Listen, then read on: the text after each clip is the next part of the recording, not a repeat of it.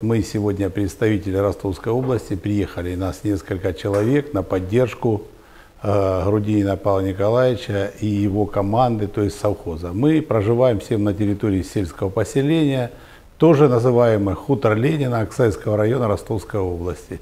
Я доверенное лицо Павла Николаевича по Ростовской области. Мы, конечно, многие очень э, люди этические казаки поддерживают Павла Николаевича, потому что мы, Ростовская область, хлебодарная, хлеборобная, ну, вы сами знаете, что полстраны хлебом кормит Ростовская область и Краснодарский, Ставропольский край. Поэтому мы все озабочены и переживаем за то, что творится. Конечно, мы в любое время можем прийти на помощь. Мы всегда душой с совхозом имени Ленина. Это прекраснейший уголок – культуры и развития сельского хозяйства должно быть такое во всей России, потому что у нас э, Россия самая красивая в мире. И вот, э, вы знаете, параллельно, наверное, совхоз тоже такой красиво олицетворяет наше государство. Ну, мы, нас здесь всегда принимают гостеприимно, мы здесь уже не первый раз, и будем надеяться, что наша дружба будет продолжаться. У нас есть с кого учиться и у кого брать пример, как у совхоз имени Ленина.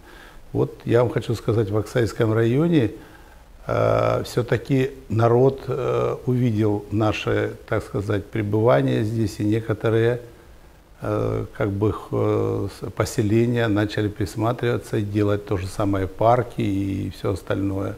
Поэтому есть наш, немножко наша, так сказать, работа. Есть пример, с кого брать.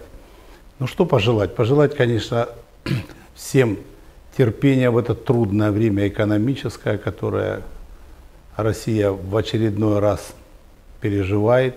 Я думаю, что все будет хорошо. Такие люди, как в совхозе имени Ленина, живут и работают. Я думаю, что Россия будет процветать. А Павлу Николаевичу терпения, здоровья и благополучия. Ну и всего наилучшего всем. И я хочу сказать, хороший проект «Я в доле» И это народный, народный, потому что все государства состоят из народа, поэтому мы поддерживаем, и мы всегда в доле, и будем продолжать вести этот мониторинг.